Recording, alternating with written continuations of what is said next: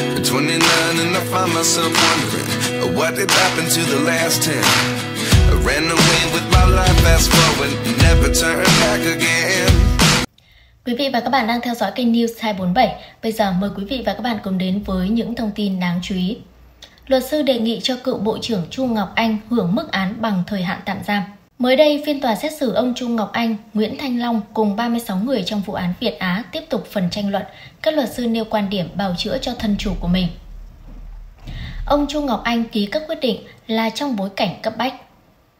Trong vụ án này, Viện Kiểm sát đã đề nghị Hội đồng xét xử xử tuyên phạt bị cáo Chu Ngọc Anh, cựu Bộ trưởng Bộ Khoa học và Công nghệ, mức án từ 3 đến 4 năm tù về tội vi phạm quy định về quản lý sử dụng tài sản nhà nước gây thất thoát lãng phí.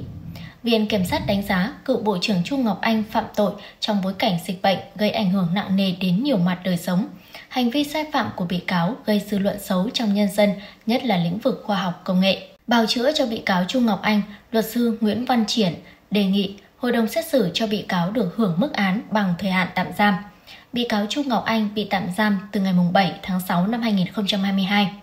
Theo luật sư, ông Chu Ngọc Anh đã thừa nhận hành vi và chỉ mong hội đồng xét xử xem xét bối cảnh khách quan, đánh giá toàn diện vụ án.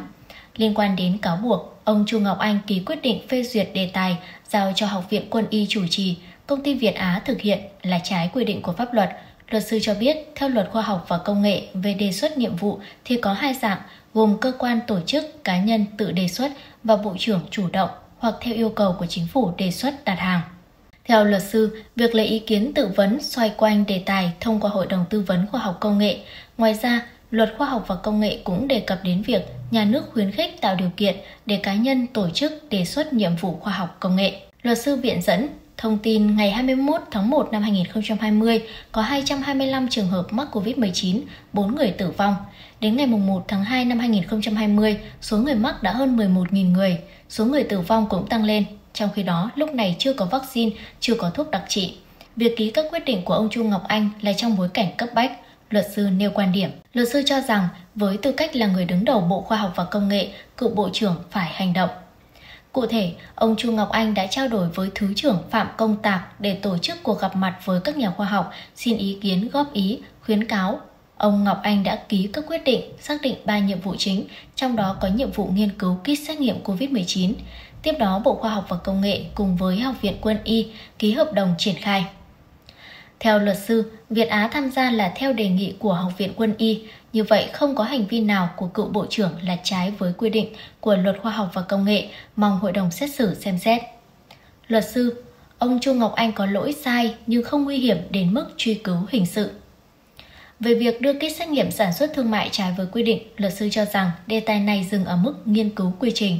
Bộ Khoa học và Công nghệ không chịu trách nhiệm sản xuất thương mại. Đây là nội dung nằm ngoài phạm vi của đề tài. Vấn đề sản xuất thương mại là trách nhiệm của Bộ Y tế. Đề tài vẫn thuộc phạm vi quản lý của Học viện Quân y nên trách nhiệm chính là Học viện Quân y. Theo luật sư, lĩnh vực nghiên cứu khoa học là đặc thù, chỉ có người trực tiếp nghiên cứu mới biết rõ vì vậy, luật sư nói lên sự lăn tăn, đắn đo về việc sản phẩm này là của Việt Á hay của đề tài, trong khi Bộ Khoa học và Công nghệ chưa có kết quả nghiệm thu đề tài.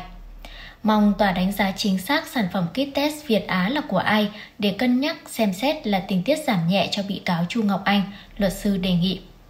Luật sư cũng khẳng định các hành vi của ông Chu Ngọc Anh đều diễn ra trong tình huống khẩn cấp, mọi việc đều phải giải quyết trong tình huống cấp bách nên tính đúng hay sai rất khó để phân định. Trong vụ án này, theo luật sư, thân chủ của mình có lỗi sai nhưng không nguy hiểm đến mức bị truy cứu trách nhiệm hình sự. Từ đó, luật sư đề nghị hội đồng xét xử cho bị cáo Chu Ngọc Anh được hưởng mức án bằng với thời hạn tạm giam. Thông tin này đã khép lại bản tin hôm nay của chúng tôi. Cảm ơn sự quan tâm theo dõi của quý vị và các bạn. Xin chào tạm biệt.